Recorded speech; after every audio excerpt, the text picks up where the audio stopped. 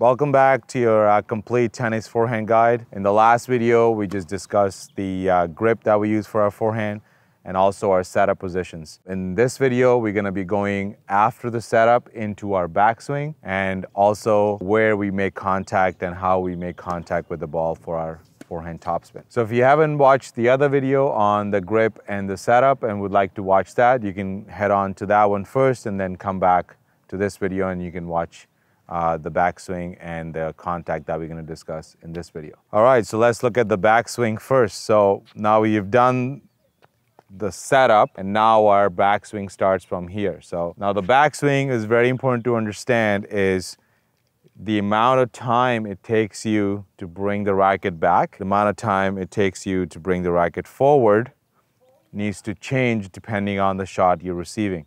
So there's no one type of backswing for your uh, topspin forehand. So in a ideal rally ball, which is say for example, it takes you one second to do a full backswing and you're able to meet the ball, then for a ball that's coming a bit faster, you cannot do the exact same backswing and expect to meet the ball at the same uh, same contact. So now the ball is going to be coming faster, so your contact's going to be late. So now I need to adjust my backswing to maybe a bit smaller, and now I can meet the racket again at the right contact point. Really important to understand that there's no one backswing. So when you're getting set up, the we're bringing again our non-dominant hand is turning our shoulders and our hips after that. And then from here, I'm thinking about bringing my racket to the side not so much bringing the racket to the back. So this is where most of the players struggle with is, is having the backswing is way too big. And then again, like we just discussed, it takes a lot longer for them to bring the racket back to where they're gonna make contact. And they're gonna be a lot of times late. And when we're late, we're not able to use our whole kinetic chain to actually hit the ball. So as the ball is coming towards you, you're getting ready, you got a setup, backswing going towards the side, and then we make a, it's called a C on the forehand. We make a C on the forehand with the racket. And then from here, the racket drops below the height of the ball and then comes through and meets the ball here around my front hip or just in front of the front hip. I don't want to make contact here. So the ball is coming fast. I do a smaller backswing so I can make contact here. If the ball is coming high, I need to make sure my backswing gets higher so I can bring the racket to the level of the ball when I'm hitting it.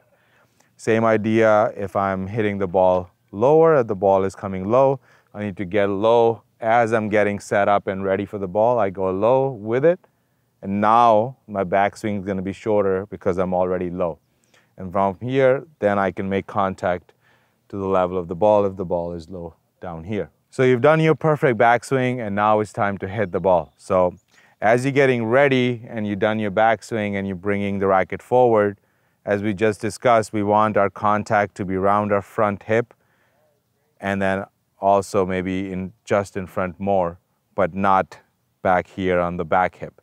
So the contact should be around the front hip, but not the back hip. And I just want to do a quick drill. Uh, you can do that with me as you're watching this. If you have a doorway nearby, what I want you to do is just, I'm gonna imagine this is the doorway and I'm gonna just put my hand behind it here, get into my forehand position. As you can see, my contact's behind here right now. And I want you to push against the doorway and then feel uh, the amount of pressure on your shoulder and your arm right now.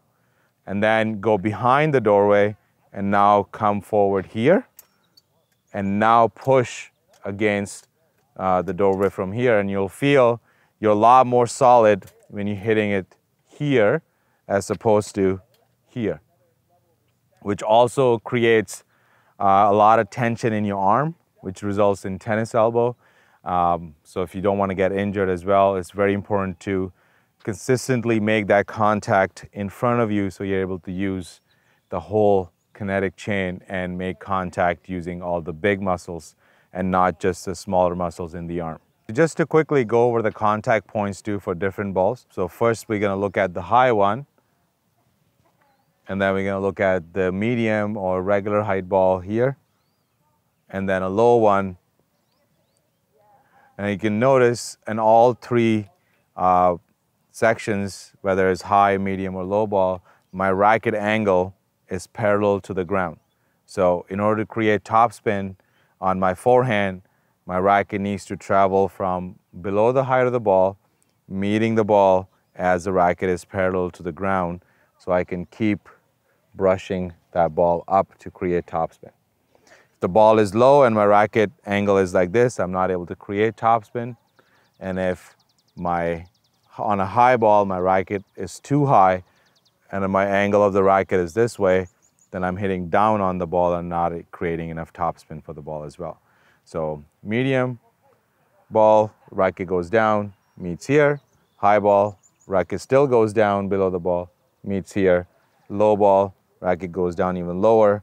And when it meets, it meets parallel to the ground and then up from there. So now that you made the perfect contact, the next step is to actually finish your stroke. And we're gonna talk about that in the next video, how to do a proper follow through and how to use the whole kinetic chain to hit your most effective forehand. If you like the video so far, please hit like and subscribe so you don't miss out on the other videos. And the next follow through video will be coming out soon. So I'll see you soon. Thank you. Bye.